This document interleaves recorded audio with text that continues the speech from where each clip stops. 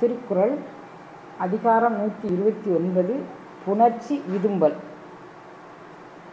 தலைவனும் தலைவியும் கூடி இன்புறும் இன்பற்று இன்பத்தை பற்றி பேசுவது புணர்ச்சி விதும்பல் அப்படிங்கிறது. இரண்டு பேரும் கலந்து அனுபவிக்கும் அனுபவம். உள்ள கழித்தலும் காண மகிழ்தலும் கள்ளுக்கு இல் காமத்திற்கு உண்டு. அதாவது கல்லை பார்த்தா அதனால் எதுவும் போதை வர்றதில்லை. கல்லை நினச்சாலும் இன்பம் வர்றதில்லை. ஆனால் காதலியை காதலன் நினச்சாலோ காதலனை காதலி நினச்சாலோ நினச்ச மாத்திரத்தில் கள்ளு தரக்கூடிய போதையை இவர்கள் ஒருவரை ஒருவர் நினைத்த மாத்திரத்தில் அந்த போதை அவர்களுக்கு கிடைக்கு கல்லை பார்த்தா காதல் வ போதை வருவதில்லை. இவங்க ஒருத்தர் ஒருத்தர் பார்த்த மாத்திரத்தில் போ போதை வருது நினைத்த மாத்திரத்தில் போ போதை வருது அனுபவிக்கும் போதும் போதை வருகின்றது அப்படிங்கிறத உள்ள கழித்தலும் காண மகிழ்தலும் கள்ளுக்கு இல் காமத்திற்குண்டு. கள்ளு கள்ளுக்கு இல்லாத ஒரு சிறப்பு இது காமத்திற்கு உண்டு அப்படின்னு பதிவு பண்ணுறார் திணைத்துணையும் ஊடாமை வேண்டும் பனைத்துணையும் காமம் நிறையவரின். உங்களுக்கு அன்பு அதிகமாயிடுச்சு அப்படின்னு சொன்னால் அன்பின் வெளிப்பாடாக ரெண் ஊடுதல் கூடுதல் புலவி இது மாதிரி நிறைய இதில் நுட்பங்கள் வச்சுருக்கிறாரு. ஒரு இல்லறத்தார் எப்படி எப்படி அந்த இல்லறத்தை அனுபவிக்க வேண்டும் அப்படின்னு. அப்போ வந்து புலவி அப்படிங்கக்கூடியது ஊடல் அப்படிங்கக்கூடியதெல்லாம் சின்ன சின்ன உணர்ச்சிகளினுடைய வேறுபாடு கொண்ட ஒரே பொருள். ஒட்டுக்க பார்க்கணுன்னா ஒரு பொருளை பார்த்துடலாம். ஆனால் அதில் சின்ன சின்ன நுட்பங்கள் அதில் இருக்குது இதில் வந்து நீங்கள் ஊடாமை ஊடல் கொள்ளக்கூடாது. ஊடல் அப்படின்னா ரெண்டு பேரும் கோச்சிக்கிட்டு இருக்க மாதிரி ஒரு பாவனை. ஆனால் உண்மையிலே அது கோபம் இல்லை. அது அன்பின் வெளிப்பாடு தான் திணைத்துணையும் ஊடாமை வேண்டும் பனைத்துணையும் காமம் நிறைய வரும் உங்களுக்கு அன்பு அதிகமாகிடுச்சு நீங்கள் ரெண்டு பேரும் சேர்ந்து வாழணும்னா அந்த நேரத்தில் நான் ஊடலில் தான் இருப்பேன் அப்படின்னு இருக்காதீங்க. அது வந்து அந்த ஊடலுக்கு அந்த அன்பிற்கு வெளிப்பாடு இல்லாது போயிடும் அப்படின்னு சொல்கிறார் இது உடல்கூறு தத்துவத்தினுடைய தன்மையும் மனக்கூறு தத்துவத்தினுடைய தன்மையும் ஒட்டுமொத்தமாக பிழிந்தெடுத்த சாரம் இந்த பகுதி வந்து. அது மாதிரி நீங்கள் ஊடல் நேர கூடல் நேரத்தில் ஊடுதலாக இருந்தால் அது வந்து உங்களுக்கு நன்மை பயக்காது அப்படிங்கக்கூடிய உடல்கூறு சாத்திரத்தை சொல்கிறார் திணைத்துணையும் ஊடாமை வேண்டும் பனைத்துணையும் காமம் நிறைய வரும் பேணாது வெட்பவே செய்யணும் பொன்கனை காணாது அமையல கண். நான் நான் நான் என்ன விரும்பணும்னோ என் விருப்பத்துக்கு மாதிரி தான் அவர் செய்யணும் அப்படின்னு நான் எதிர்பார்ப்பேன். ஆனால் அவர் ஒன்றும் அது மாதிரிலாம் செய்ய போகிறதில்ல பேணாது வெட்பவே செய்யணும். என் விருப்பத்துக்கு மாறாதான் அவர் எப்பவும் செஞ்சுக்கிட்டு இருந்தாலும் கொண்கனை காணாது அமைய அமையலை கண்.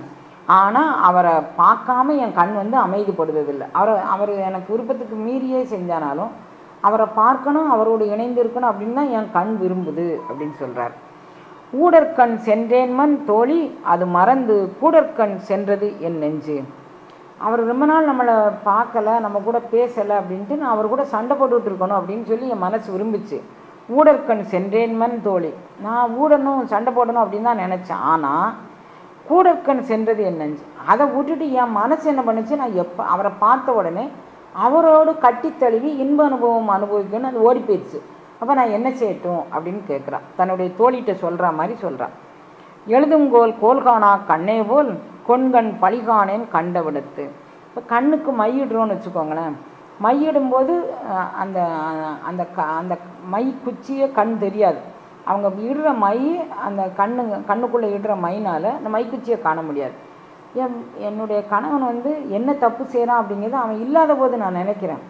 அவனை கண்டா எனக்கு அந்த நினப்பு வர்றதே இல்லை. இதை இன்னும் கூட ஆழ்வார் ஒரு பாசகத்தில் சொல்வார் கண்டார் இகழவனவே காதலன் தான் செய்திடனும் கொண்டானையெல்லாம் குறிப்பறியா குலமகள் போல் அப்படிங்கிறார். யாரும் அவனை அப்படிங்கிறாங்க இப்படிங்கிறாங்க எல்லெல்லாமோ பேசுகிறாங்க ஆனால் கொண்டவனை தவிர குறிப்பெரியா குலமகள் போல் என் மனசு வந்து ஒன்றே தான் இருக்குது எனக்கு என் வினைப்பையன் அது இதுன்னு என்னை என்னென்னமோ அனுபவிக்க வச்சுட்ட பகவானே இறைவன்கிட்ட கேட்குறாரு அவர்.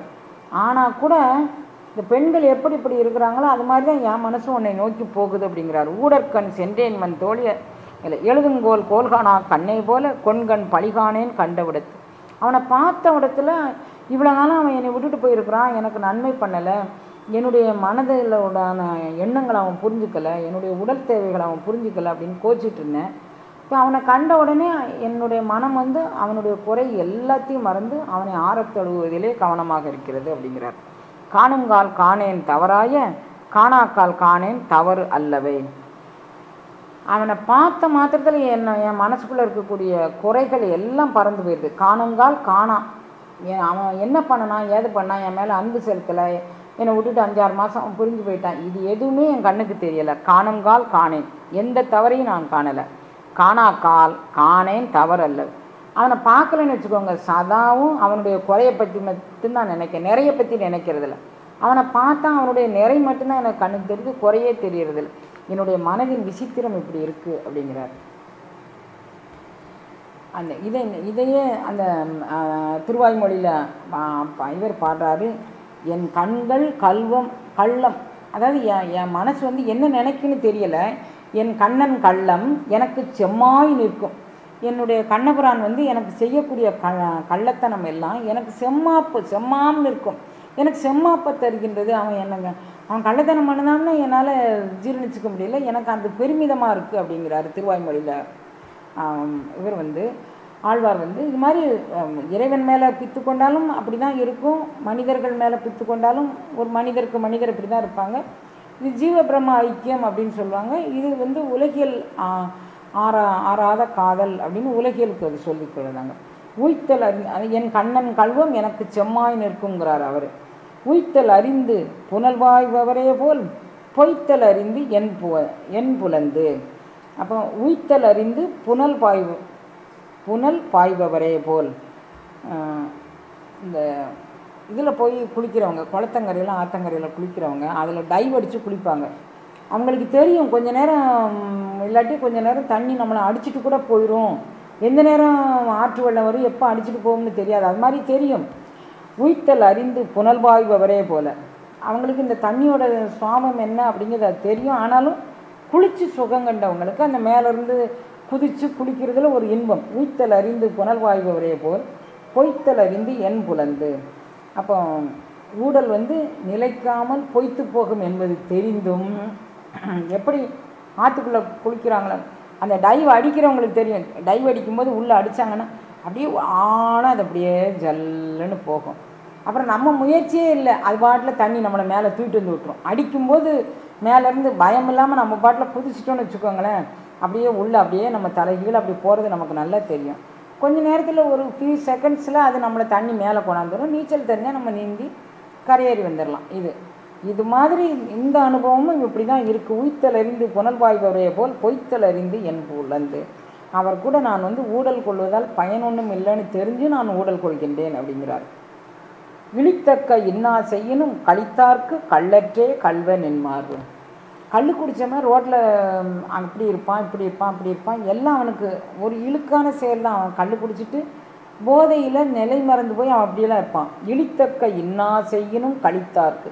கல் குடித்தவங்களுக்கு எளிமையான எல்லாரும் பார்த்து இது என்ன இது மாதிரி இருக்கானே அது மாதிரி இருக்கானேன்னு சொல்லக்கூடிய செயல்கள் அத்தனை செய்தாலும் கள்ளற்றே கல்வன் என் மார்பு எனக்கு வந்து என் என்னுடைய காதலனுடைய மார்பு வந்து கல் மாதிரி கல்வனே உன்னுடைய மார்பகம். இதில் ரெண்டு பொருள் கல்வனேன்னு ஒரு பொருள் கல் அப்படின்னு ஒரு பொருள்.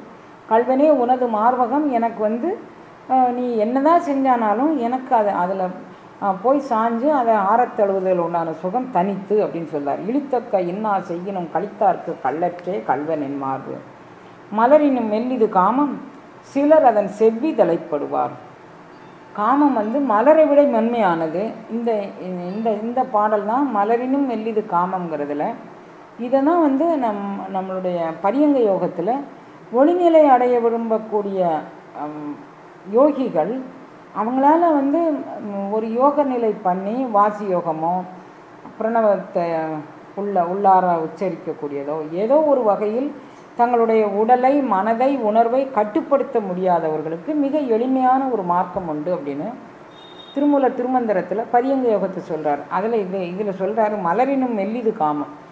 மலரை நீங்கள் அந்த பரியங்க யோகத்தின் மூலமாக இறை உணர்வை பெறணும்னு விரும்பினீங்கன்னா உங்களுடைய இணையாளோடும் நீங்கள் வந்து ஒத்த கருத்து உடையவர்களாக வாழ்ந்து மலரினும் மெல்லிது காமம்.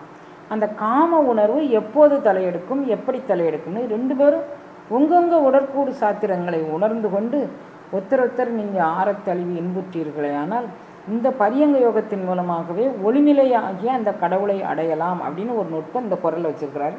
மலரின் மெல்லிது காமம் சிலர் அதன் செவ்வி தலைப்படுவார். கல்யாணம் முடிக்கிற எல்லாருமே ஆண் பெண் இணைகிற எல்லாருமே இந்த இந்த யோகத்தினுடைய நிறைநிலை அனுபவத்தை அணி உணர்ந்து கொள்ள முடியாது. இரண்டு பேரும் ஒருவரை ஒருவர் மனதால் புரிந்து உணர்வால் புரிந்து ஒழுக்கத்தால் தலை சிறந்து நின்றார்களேயானால் அவர்களுக்கு இவ் அனுபவம் கிட்டும் அப்படின்னு சொல்றார். கண்ணில் துணித்தே கலங்கினால் புல்லுதல் எனினும் தான் விதிப்புற்று. கண்ணில் துணித்தே கலங்கினாள்.